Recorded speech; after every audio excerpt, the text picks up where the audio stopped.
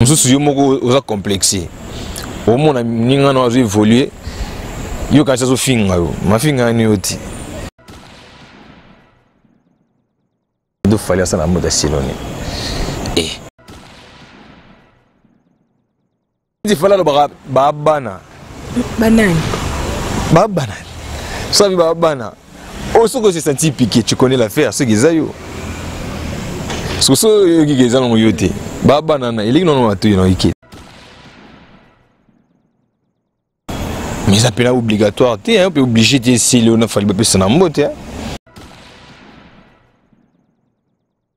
Mesdames et messieurs, bonjour et bienvenue. Ça dépend de l'heure à laquelle vous allez nous recevoir. Je tiens avant tout à vous remercier d'avoir porté votre choix sur cléboa.com. Grand merci à tous nos abonnés de cléboa.com. Continuez de vous abonner, commenter, partager. Vos commentaires, vos suggestions nous aident à se perfectionner. Voilà, mesdames et messieurs, comme j'ai toujours l'habitude de vous dire, cléboa.com, nous sommes là pour vous informer à temps réel. Voilà, avant tout, je tiens à remercier euh, my lady boss Pichu Grand merci à Tonton Banalum Invisible de la Nation. Grand merci également à celui qui est derrière la caméra. Herman Empor et au garçon Slim, grand merci pour ton savoir-faire. Grand merci à toutes ces personnes euh, qui sont là pour s'abonner. Continuez de vous abonner, continuez de partager, commenter.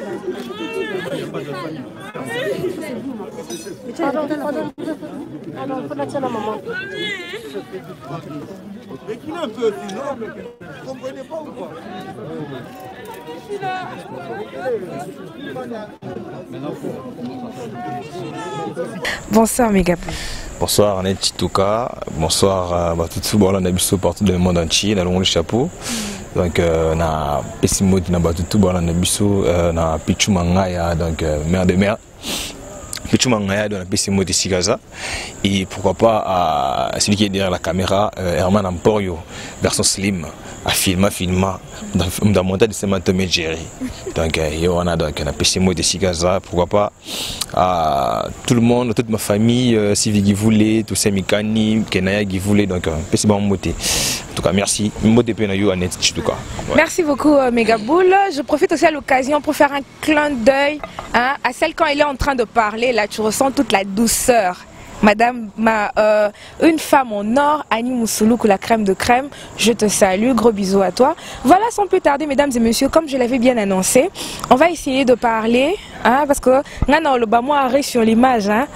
Et ça lit bien, tomoni na ya matin, ya maman ami, tomoni euh, c'est le scrum tomoni le King, Fally Ipupa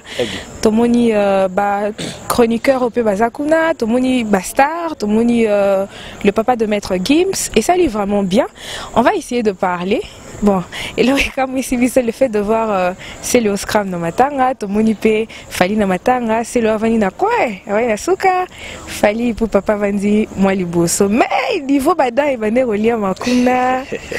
mais gars yo il m'a ramené au loba bon Voilà, omoni bango mibale c'est l'os comme la Fally Ipupa. Baba Master. Baba na Bandalungwa bakoli boye. Oyo akufeli avi na bango Koffi Olomide. Hein? Koko sabisa te. Tena ono vérité. Okay. Koffi Olomide pire via Sileo bayemba na ye na nzoto na nzoto bayema na silo na nzoto na nzoto vie na ya mbala mbala fali pupa plus vie plus petit ya kofi olomide depuis la nuit de temps ntango vie akufeli ya matanga ese bapekisa moto aya silo ya ye maki yaki na bafro wana vie na ye mopao mokonzi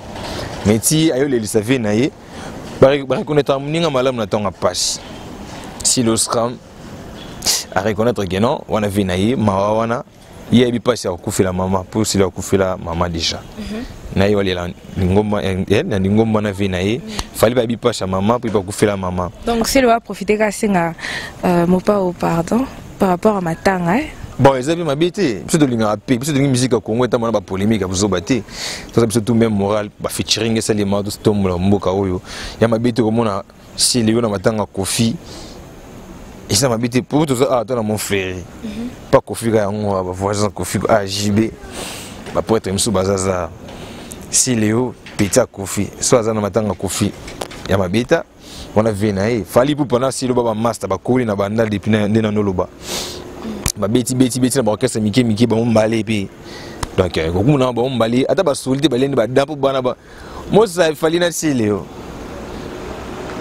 bana ba 12 mo boye kiwengi ondima te mega tu sais biso tomonana na bapays mosusu bamusicien mpena omona mpena musicien oyo na oyo bayokanaka te eh. so mpena baoyokana te bakutani place moko babundi bakutani place moko baswani baosala mpena bavideo atie na instagram na ye azofinga musicien ya musicien collègue na ye azofinga peut-être masta ne moko bayemba bakola place moko mais oyebi ke biso mpenza na kin mpenza nano tomona te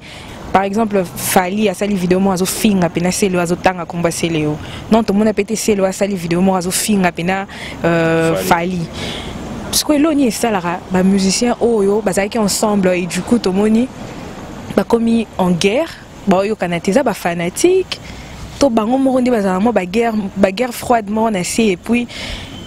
okomibomba omibomba okoka te koyino nango emonani mosu ya bato non omoni premièrement nano avant na répondre na répondre yango na dévolé un nano biso to babantu to babantu totangi na classe mingi mabe te na église mpe totangi mingi mabe te totangi beaucoup plus malamu moninga soso mabe elimbisa ye wana tonga tokokola kozosa moninga mabe na mabe te tokola nango totikala nango na esprit wana fali akoleka te na tv afinga seli ofili akoleka na tv te afinga fali parce que ba bagrand garçon bana bana si bakolikoli bamarko olivier bakoli bakeina bakoli donc bamona papa abunda neti tomonana ba états-unis ba france baya bapanzi bitumba na babwati banini donc na kini na biso nango na kibantu nano eh. bakomonaka c'est pas du tout propre yango wana basalaka bongo mais ya kokota rando na essence mosusu mpe neti exemple public mosusu public mosusu yo moko oza complexe omona moninga na azo évolue yo kanisi azofinga yo mafinga yani yo ti omona moninga azo aprogresse mosufinga moninga mosusu aprogresse mais amonaka ndi aleki baninga na ye complexe mo elati ye abulukaki ndenge no aleki tous les musiciens ya congo ya afrique bino siko biso oyo etake bayaya mosusu bacrane neti nga minga boule nga bandi journalisme lelo te okanga rankine moko te na ya mo wana mpo tose respectanaka mais oyo oh, otya bayebi ki osoda oyo atie libaya okoki kokutani na libende donc euh, namona mpe ebundisaka mpe yango bamusicien ezala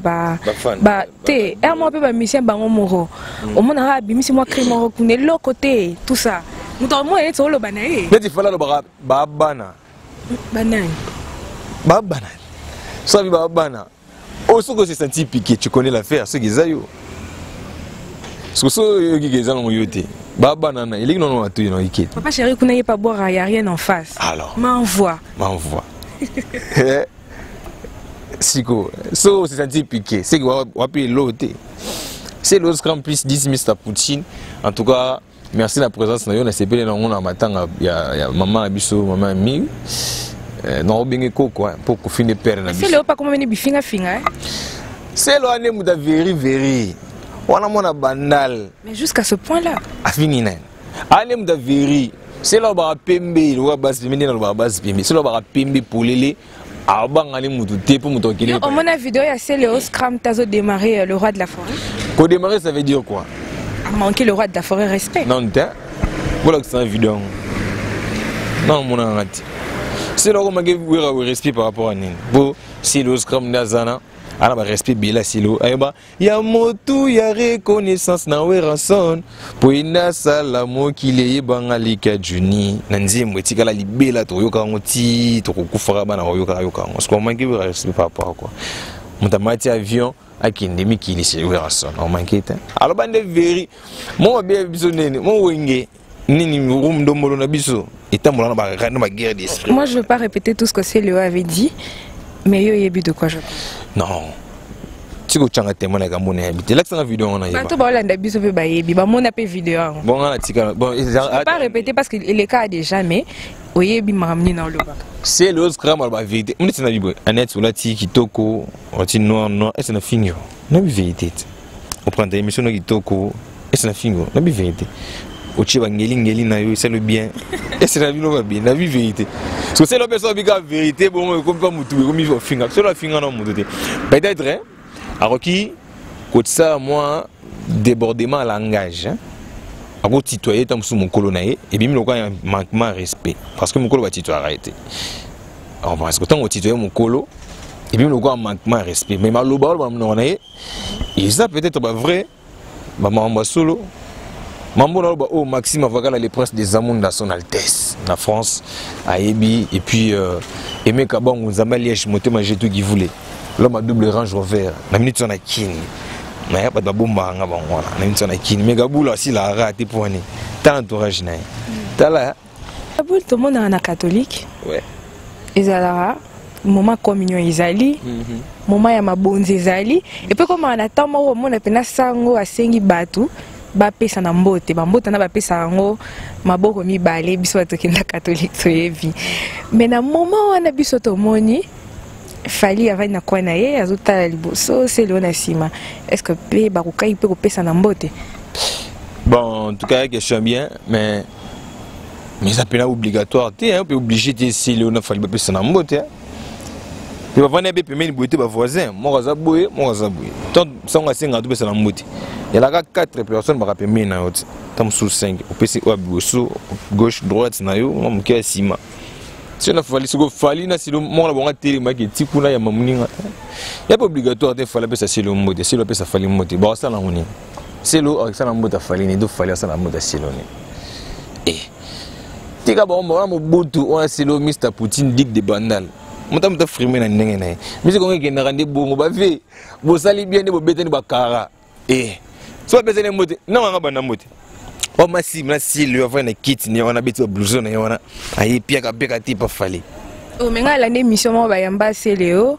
Euh, Fali Pazaka, wana ba sireba bimsa nzemba benga pina euh, Fali tonton Fali c'est mon tonton. Wana bolingo eza. C'est mon tonton. Wana bolingo wana wana bolingo wana bolingo c'est normal. Lelo nde ba froid ekota boye. Fali atelemi pina abeti ba pièces na abeti na je crois ba Louis Vuitton. Na mona ba coupe Louis Vuitton tam su ba pied à pied de poule wana. Aye apesi silo mbote. Eh. Tala saka na internet. Ora ni biso moto te maka. Fali asengi pelo pardon. sela zenge mpo awa oh, bandaka mbote liboso eh, mobutu dig de bandal aza na yeke bande mbote to ye eh. mais ya mpe oblige te fale silo apesa bafali bandal mpe ah, mbote mpe échange mpe fale na eloko te silo mpe na eloko te 12 wana nga asepe na nga nango mm. bokontinue kaka bongo baombale mo baombale mba bapesa biso elengi ya swaga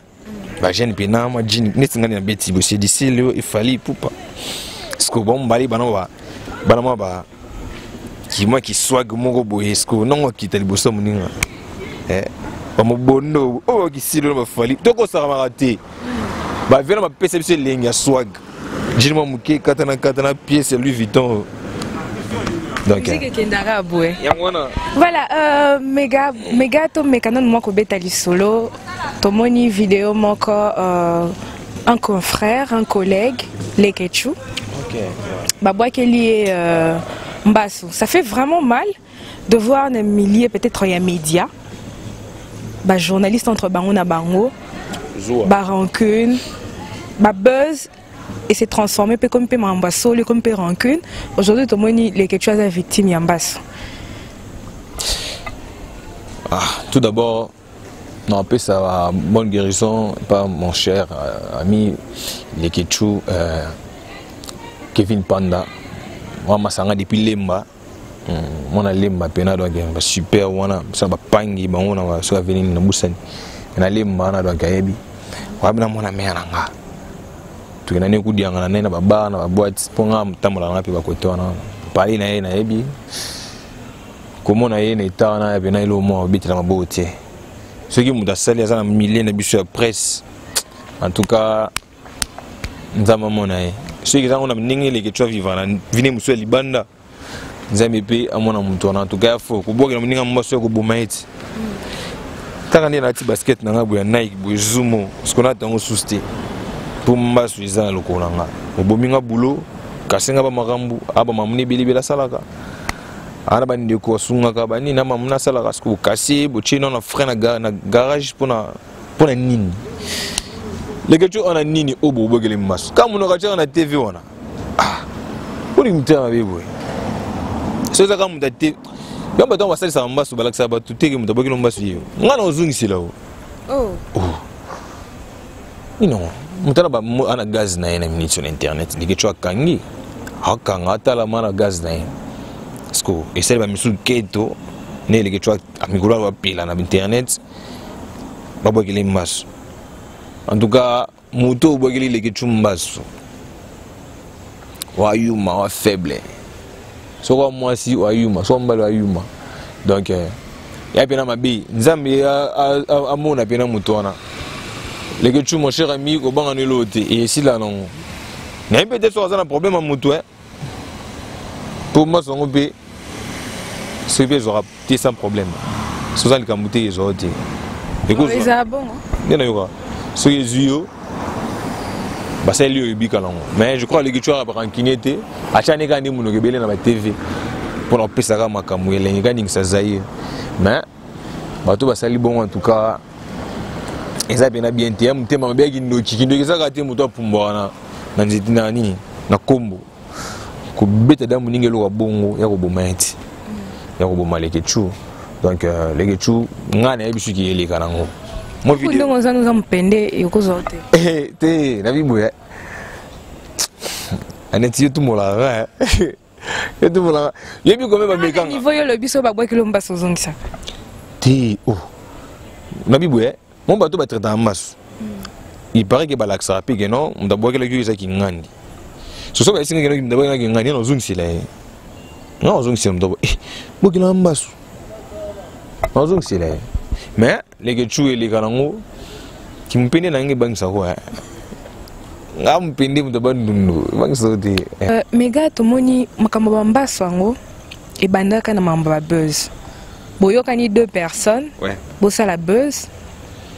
nga nakomi ofingo siko air moko nakomi mpe kodeborde kandi outi oloba mm. na deborde na mwa langage e yako moni pena ka neta ko mobeta nga pena mwamba solo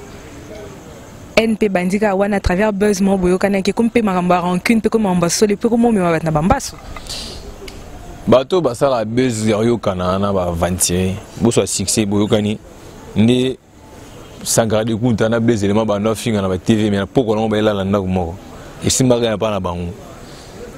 nga so na ranki nga na lubano ma bien na TV so tono bien ndeni nga so na bien na TV c'est tono guerre d'esprit na yo tono ba rando soki leke to yokana na muninga mo ba finga na ya na kuzu na ngo ba kutani wana mama na bango mais je crois que TV ngo yo mobeba tomobomanaka biso na biso mpo makambo mbaso yango tomonaki na kai ya eveline camo lopez elo ebomaka ye mpe ezalaka mbaso ouais ah c'est honte hein. question na me repose mpe sœur na ngai kamo olelisa nga amaki eh. émission matanga pena olelisa nga mabe kamo lopez napesi mbote esika aza napesi mbote te question na mareponse ya mpezi esika aza na partir ya lola pesi mm. mbote donc euh, yango omoni sere na biso lopez adayaka loka bambasu kaka boye internet oyo tv oyo tokobomanaka ntango lopez akufa ese moto abokelai mbasu wana azwi nini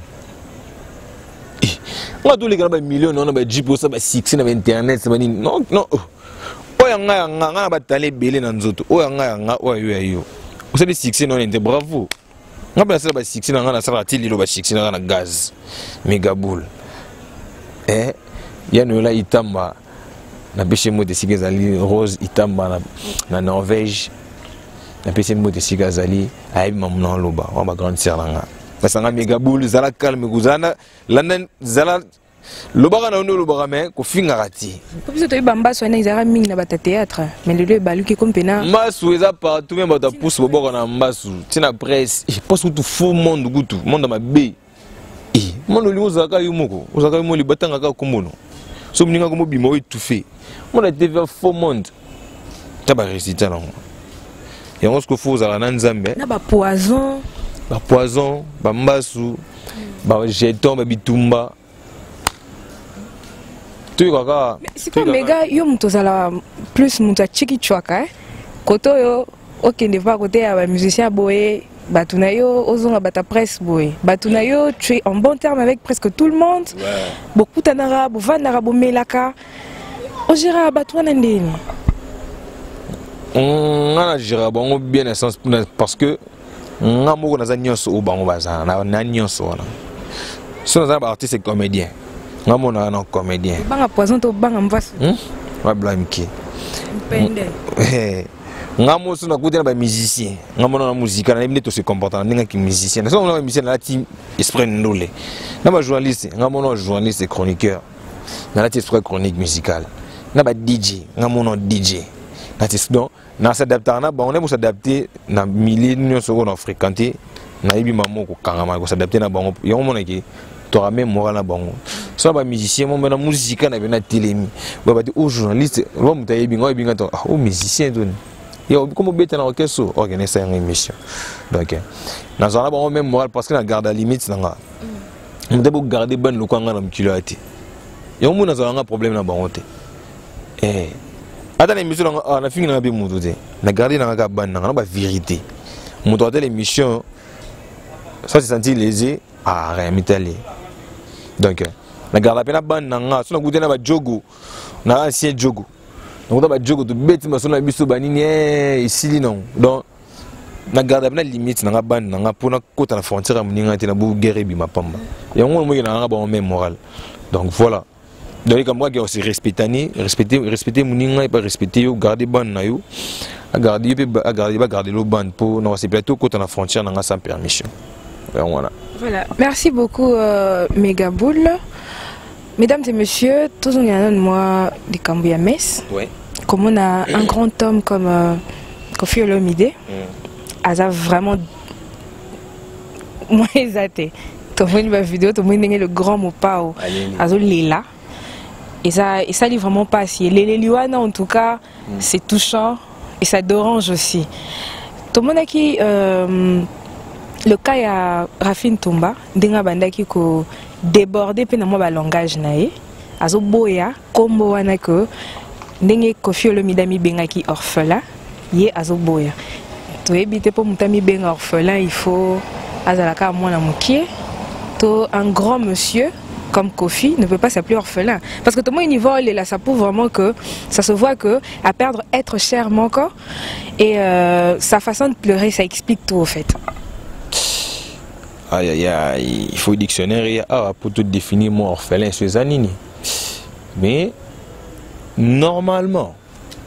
orphelin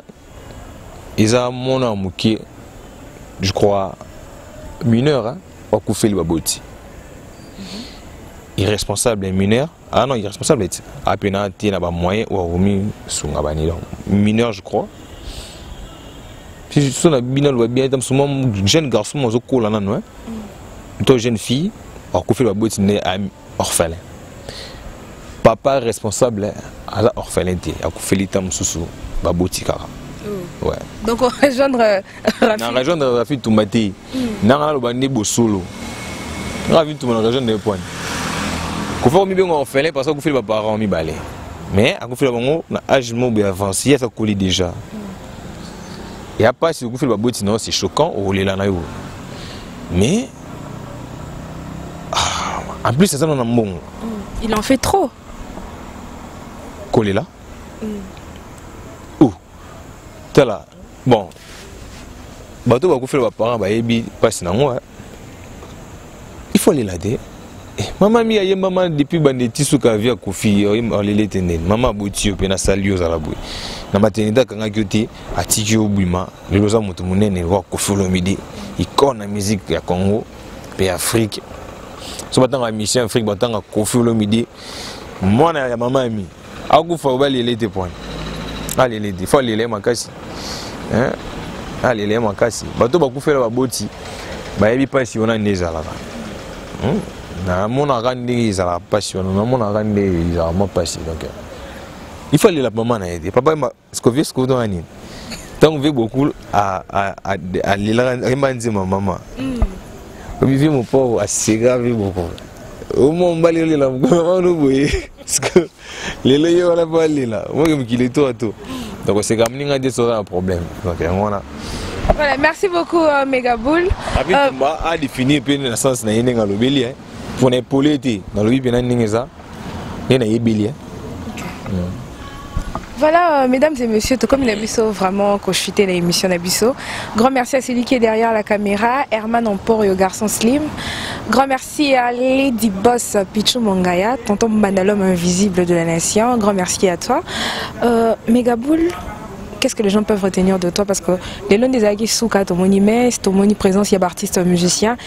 toyebi te matanga mama mi mpenza so ezalaki na kin solinga ezala ndeni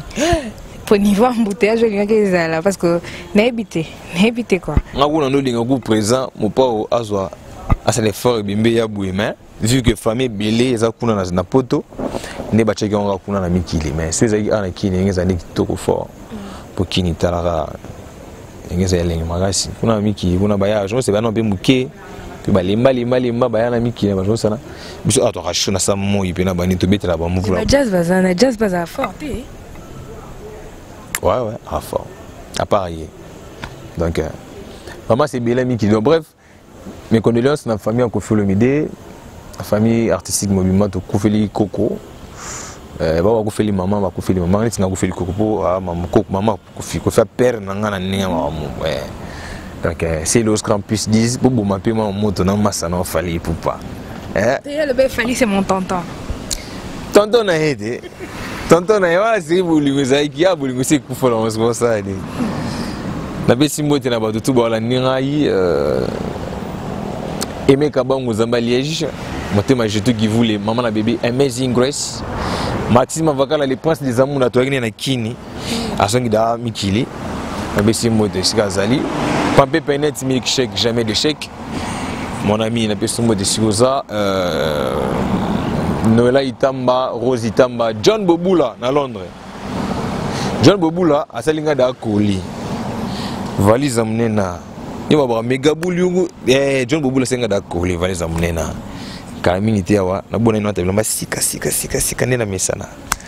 comme d'habitude eh, napesi moti na oseka nini napesi moti na euh, comment il s'appelle encore pardon et eh, beau-frère na ngai toussaint mikani ato bala grande sœur na ngai sivi givule na sudaf ke na ya givule napesi moti esika aza mao givule mama na andistar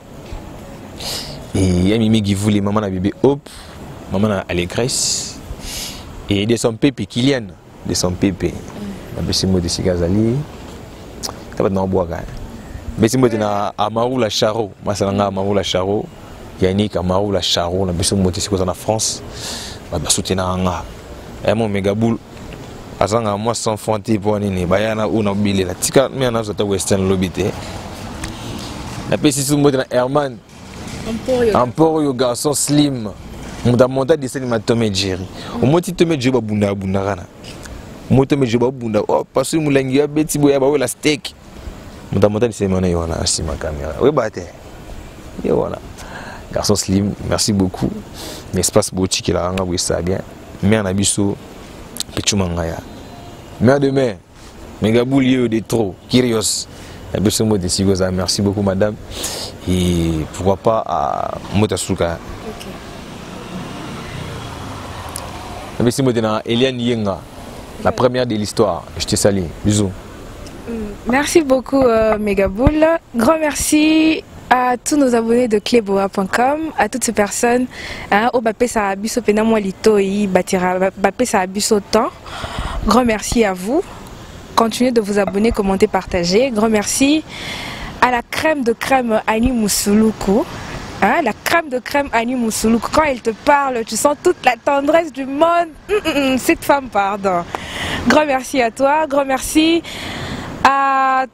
Tonton Chaise Chilombo, mon major Francis Nkoumu, je vous salue, Steven Mbala, euh, Stone Mwamba, tonton Stone Mwamba, je vous salue aussi, maman Adèle Akele. Salutations à vous, là je vois José Makiese, mon vieux, je te salue. Sans oublier Junior Loboko, l'ONG Loboko, la Fondation Loboko, Junior Loboko aussi, je te salue également. Grand merci à